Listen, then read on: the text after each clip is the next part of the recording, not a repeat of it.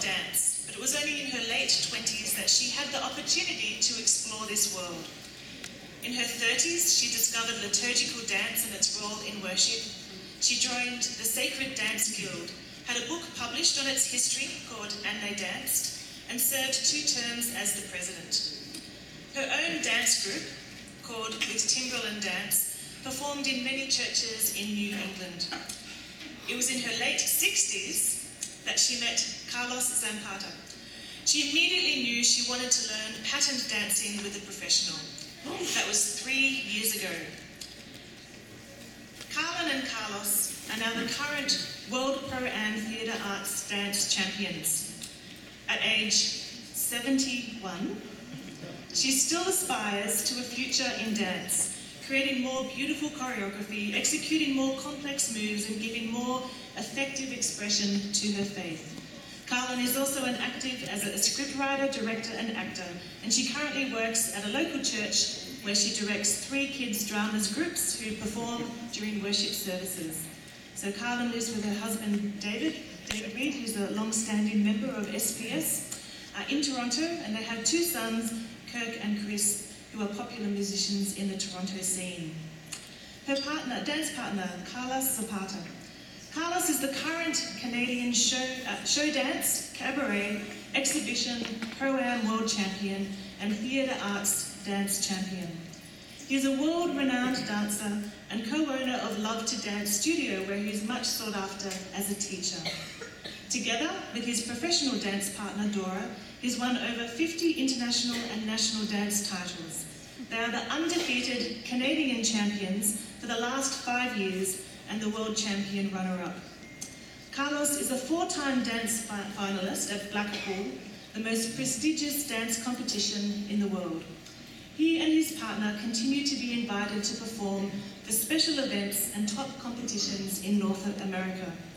Carlos loves to choreograph, to do choreography, and the creation of this presentation, the Hallelujah with Carlynn, has opened the doors for rich and varied theological conversations.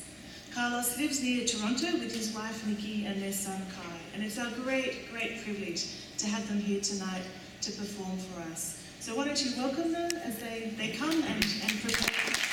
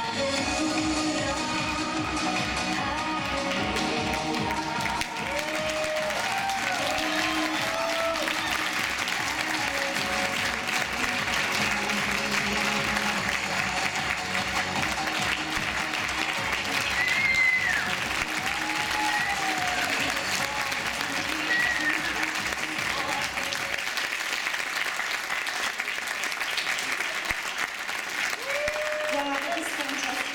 Thank you. Actually, before you go, guys, we just have a, we have a small gift for you in a very large bag.